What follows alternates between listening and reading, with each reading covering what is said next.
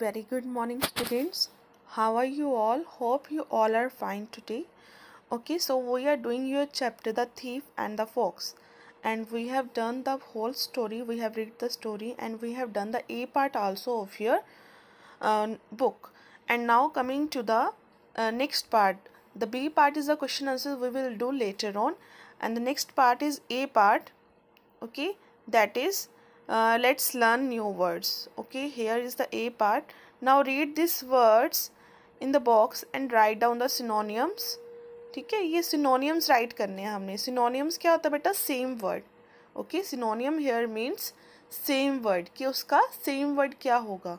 ठीक है similar words कह देते हैं। उसको हम कह देते हैं synonyms so here are some words are given to you you have to find out their synonyms from the above box first is wood wood का सिनोनिम क्या होगा? Find out from the box that is forest okay next is case what is the synonym of case case synonym is quarrel okay what is the synonym for case that is quarrel means झगड़ा करना. ठीक है? Case means भी यही होता है, कोई situation हो जानी तो क्वेरल मीन्स भी क्या होता है? झगड़ा करना. Dull dull I already told you dull has two meaning that is one is not bright and second is tired you are feeling tired quench means to आपकी प्यास बुझानी, है ना?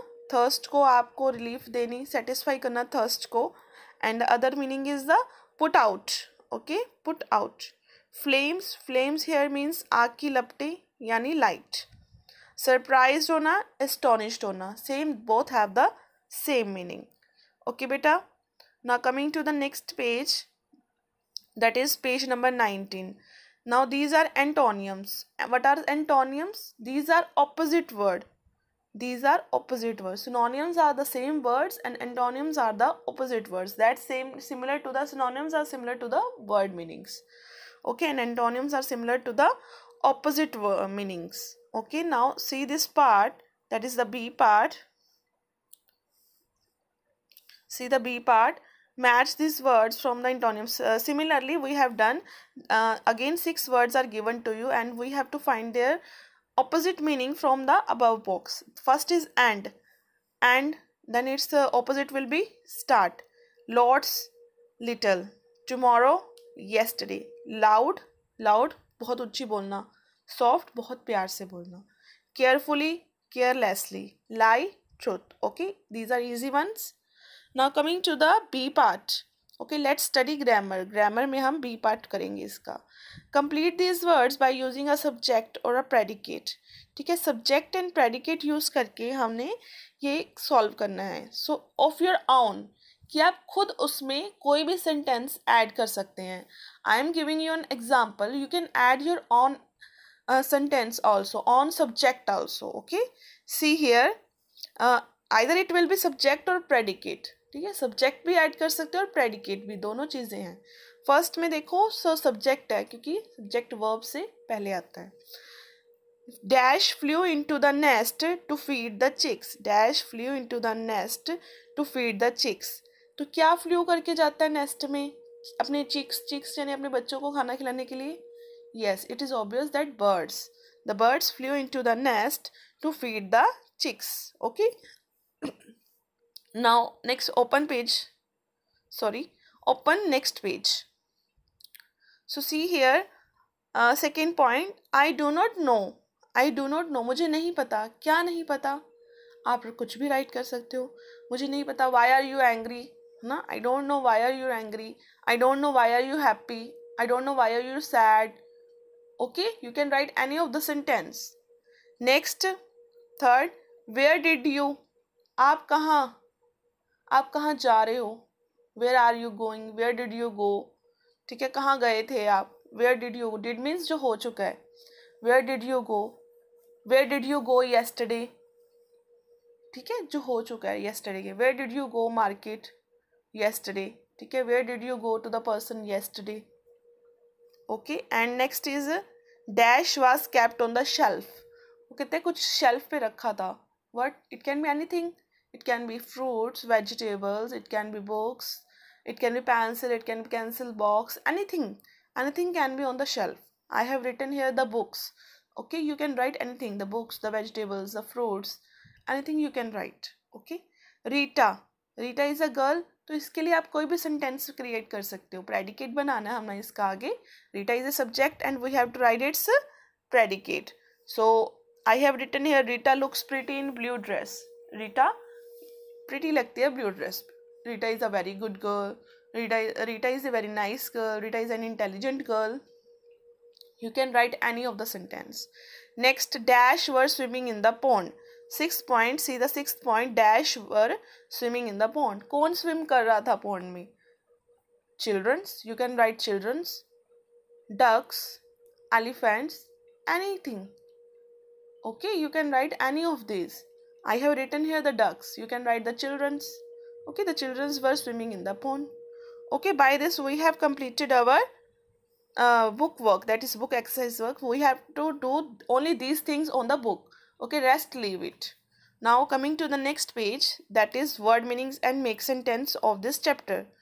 Now what are the word meanings and make sentence? We have already discussed the words in the uh, story first is in in here means a small hotel or a old pub old pub here means dharamshala ठीक है? एक छोटा सा hotel और dharamshala we have read in the story है ना? The traveller was outside the inn and stop there next pretended pretended here means to behave as something is true कि ऐसे बिहेव करना जैसे कि कुछ सही है। ठीक है? आपको मैंने बताया था ना कि जो थीफ था वो प्रिटेंड कर रहा था कि जैसे वो ही सही है। तो वो ऐसे बिहेव करना। Argument argument here means angry discussion किसी के साथ बहस करनी बहुत ज़्यादा, है ना? Angry discussion dull dull has two meaning not bright एक तो चीज़ आप देखते हो, कोई कलर है, वो ब्राइट है एंड किसी वॉल का कलर ब्राइट नहीं है.